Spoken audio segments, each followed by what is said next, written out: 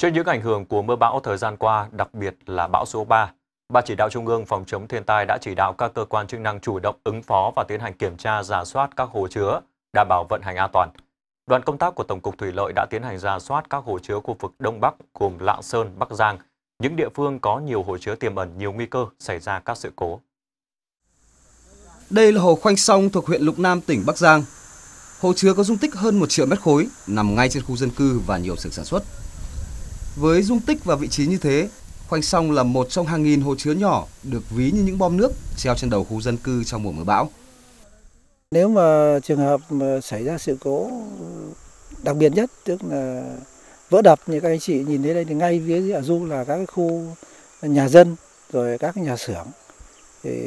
sẽ ảnh hưởng rất là lớn đến đến tính mạng và tài sản của nhân dân. Khu vực miền núi phía Bắc có số lượng hồ chứa nhiều nhất cả nước, cũng là khu vực có nhiều hồ chứa tiềm ẩn nguy cơ mất an toàn. Do phần lớn hồ đập được xây dựng thô sơ, kiểu cũ, xuống cấp và chưa được sửa chữa. Riêng tỉnh Bắc Giang có 619 hồ, cơn bão số 3 đã có 17 hồ phải xả tràn để đảm bảo an toàn. Thì chúng tôi đề nghị các địa phương là cần phải tập trung một số những cái nội dung chính như sau.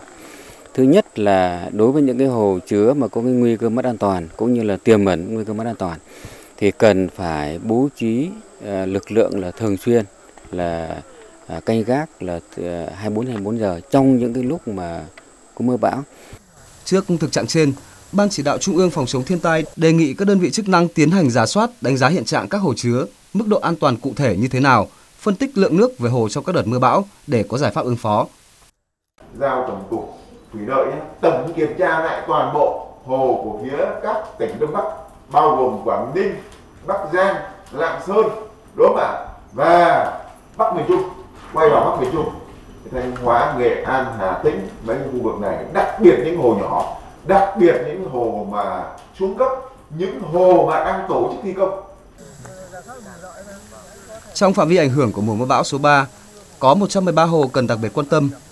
Qua kiểm tra thực tế, Tổng cục Thủy lợi đề nghị các địa phương cần giám sát chặt chẽ quy trình vận hành các hồ chứa, đặc biệt là hồ chứa nhỏ, tuyệt đối không để xả lũ cấp tập sau bão khiến lũ trồng lũ.